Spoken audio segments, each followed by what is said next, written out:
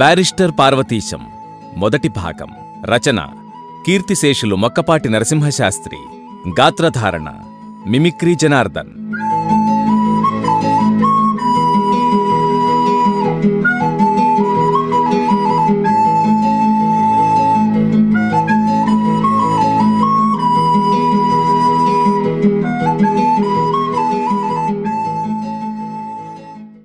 Platform మీద పోర్టర్లు తూత్తుకుడై అని కేకలు వేస్తున్నారు. కొలంబో పోయేవాళ్ళంతా ఇక్కడ దిగండి అని కొందరు కేకలు వేశారు. సెకండ్ క్లాసులో నుంచి దిగేసరికి దర్జాగా ఉండాలని కొత్త సూటు తొడుక్కుని ఎర్ర సిల్కు తలగుడ్డ చుట్టుకొని చిన్నపట్నంలో కొన్న దొరసాని టోపీ మటుకు రైలులో విడిచిపెట్టి తక్కిన సామాను తీసుకుని పెట్టెలో నుంచి దిగాను. కూలివాడొకడొచ్చి సామాను తీసుకుంటానన్నాడు. సరేనని నేను వాడితో బేరమాడి ముందుకు సాగాను. గేటు దగ్గరికి వెళ్ళడంతోటి టికెట్ కలెక్టర్ గారు చూసి అలా దయచేయండి అని దారి చూపించాడు. అలా వెళ్ళేటప్పటికీ అక్కడొక పెద్ద మనిషి కూర్చుని సామాను చూపించమన్నాడు. కూలివాడి నెత్తిమీద ఉంది కనబడ్డం లేదా అన్నాను.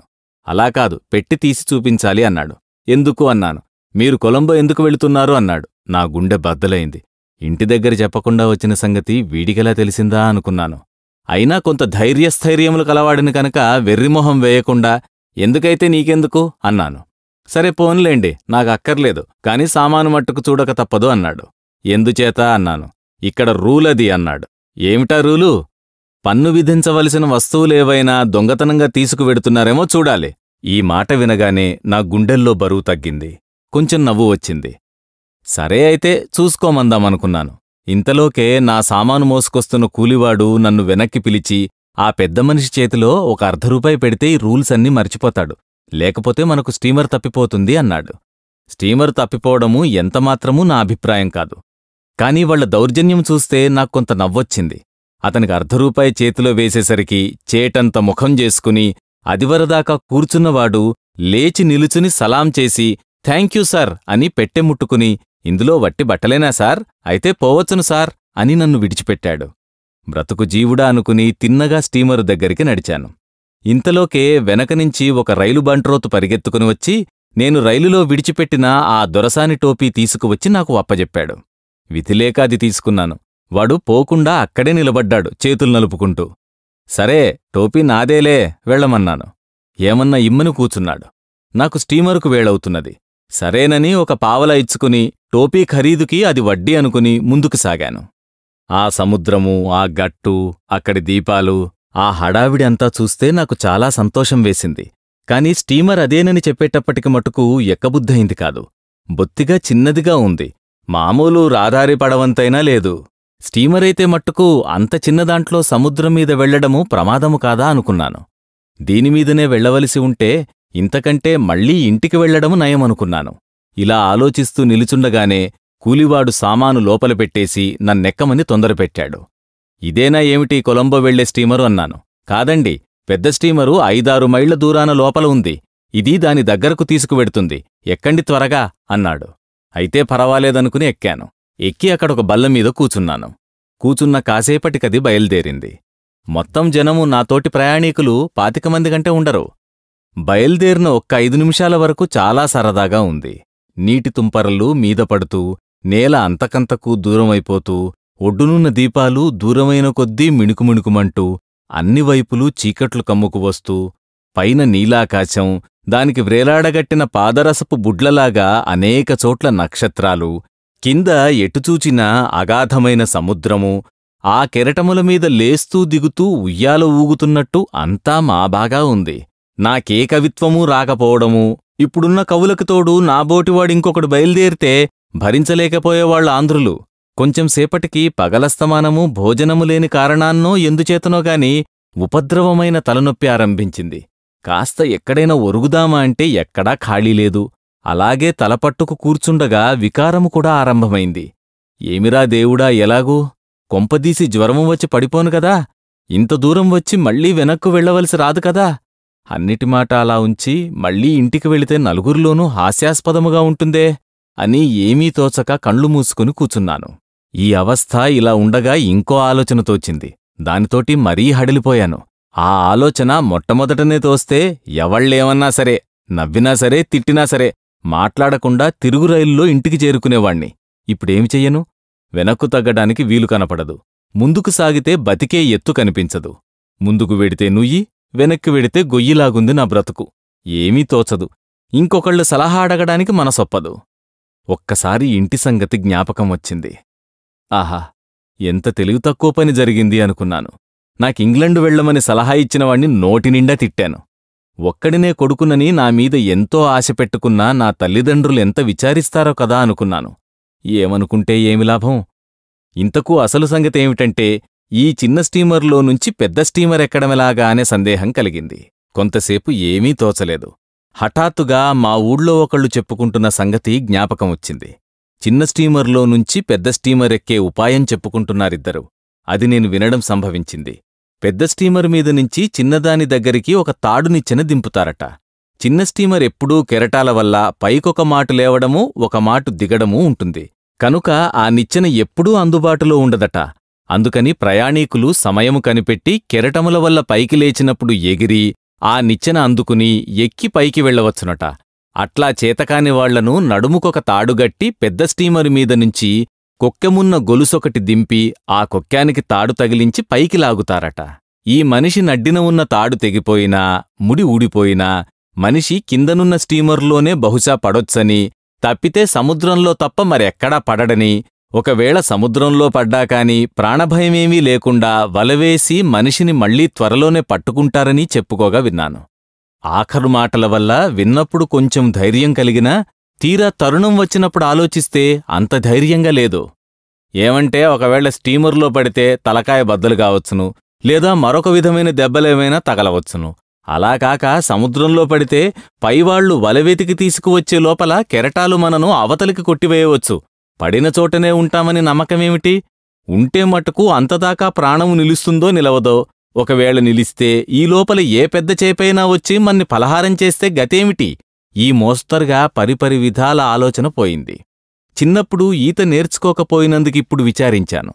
పోని మాట్లాడకుండా దీనిమీదనే తిరిగి వెనక్కు వెళ్ళిపోదామా అనుకున్నాను గాని సరే అంత తొందరెందుకు? ఒక్క క్షణము ఓపిక పడితే అంతా తెలుస్తుంది కదా?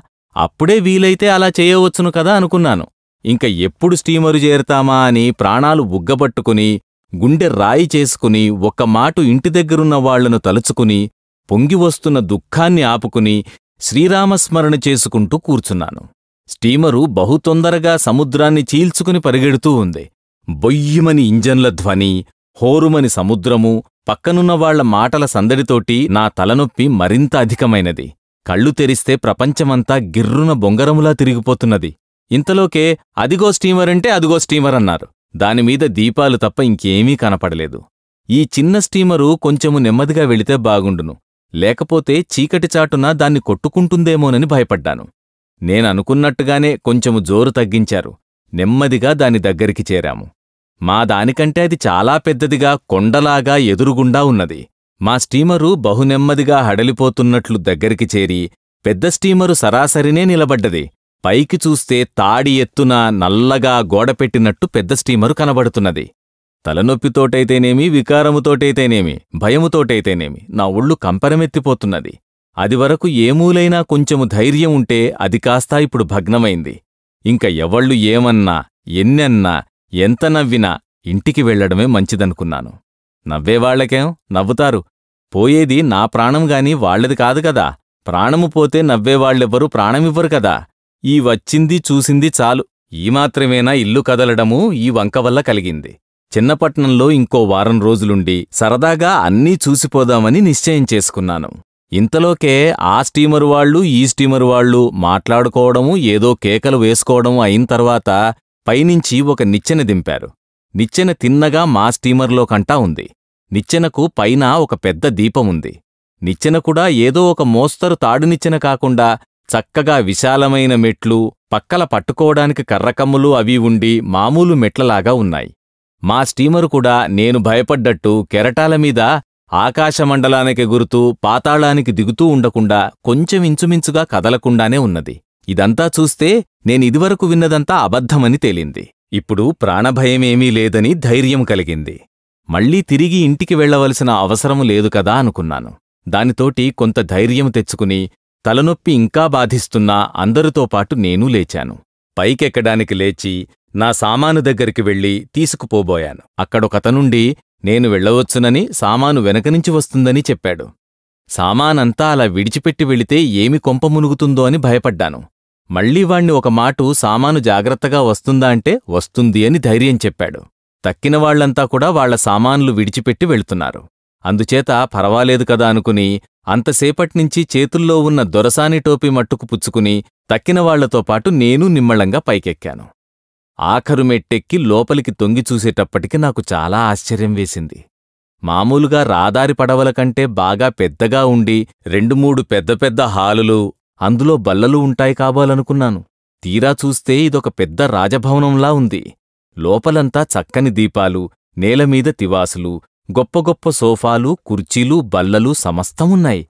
ఇంకా మంచాలు పరుపులు వేసి పడుకోడానికి వేరే గదులు స్నానాల గదులు పాయఖానాలు వంట ఇళ్ళు భోజనాల సావిళ్ళు అన్నీ వేరువేరు ఉండేటట్లు ఉన్నాయనుకున్నాను అయినా మళ్ళీ ఎంత పెద్ద స్టీమరైతే మట్టుకు ఇవన్నీ ఎలా ఉంటాయి?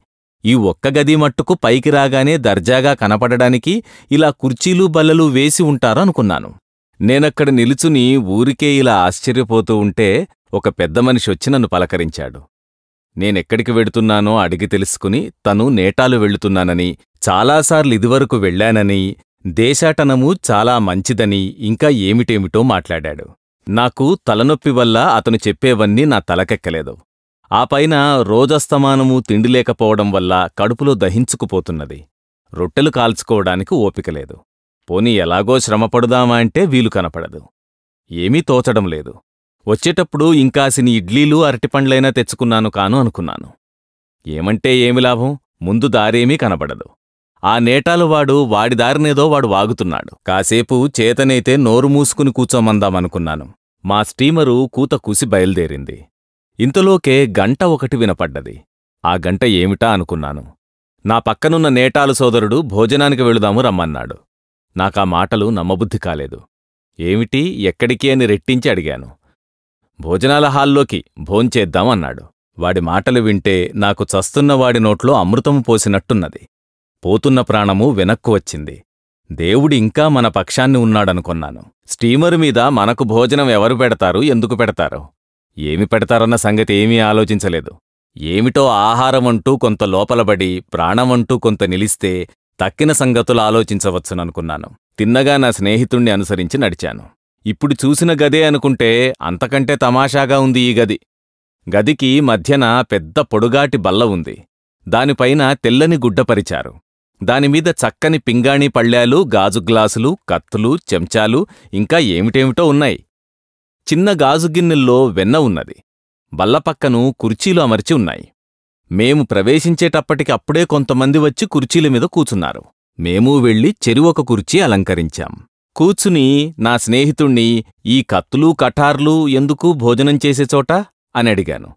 సిగ్గు విడిచి అడిగి తెలుసుకోకపోతే మాట దక్కేటట్లు కనబడలేదు.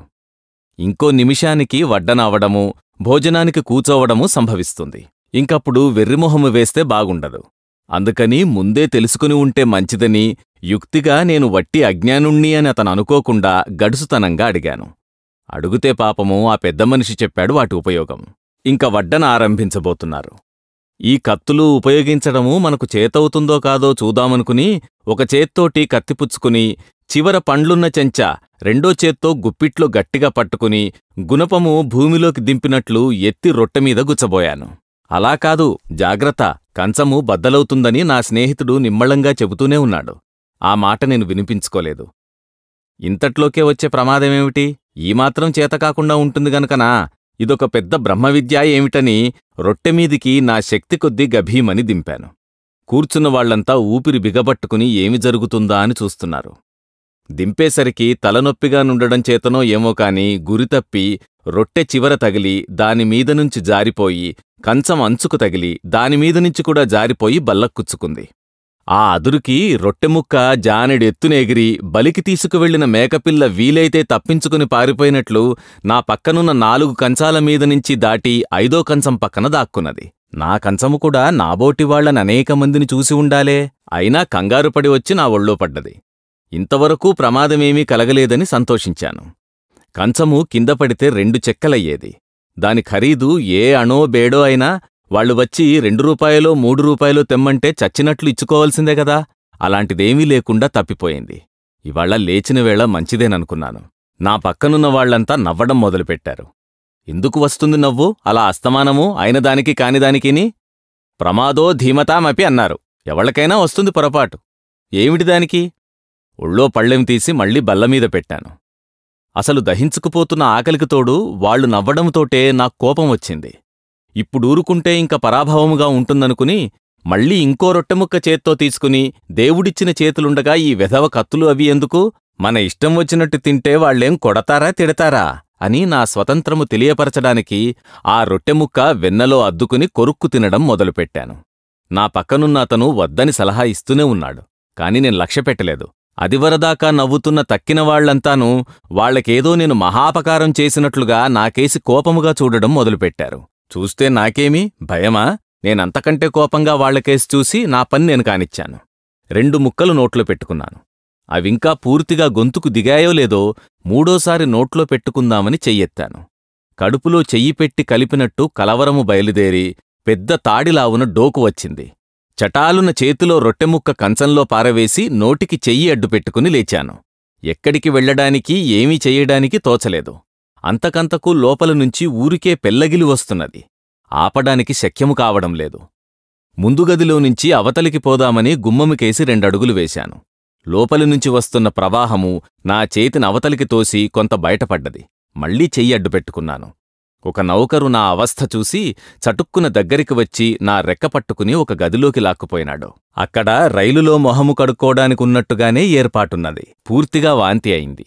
గడిచిన దినమంతా తిండి లేకపోయినా అంత పదార్థమెక్కడినుంచి వచ్చిందో కాని వారము దినములు తిన్నంత వెళ్ళిపోయింది. నోరూ చెయ్యి శుభ్రముగా కడిగివేసుకున్నాను కడుపులో పేగులన్నీ నొప్పులుగా ఉన్నాయి. తల బద్దలవుతున్నది. కండ్లు తిరుగుతున్నాయి. కండ్లు తెరిస్తే ప్రపంచమంతా గిర్రున తిరిగిపోతున్నట్టున్నది. కాళ్ళు తేలిపోతున్నాయి. కిందపడిపోతానేమోనని భయం వేసింది. నన్ను తీసుకువచ్చిన నౌకరు అక్కడనే ఉన్నాడు. మళ్ళీ నన్ను చెయ్యి పట్టుకుని తిన్నగా గదిలోకి తీసుకువెళ్ళాడు గది చాలా చిన్నది.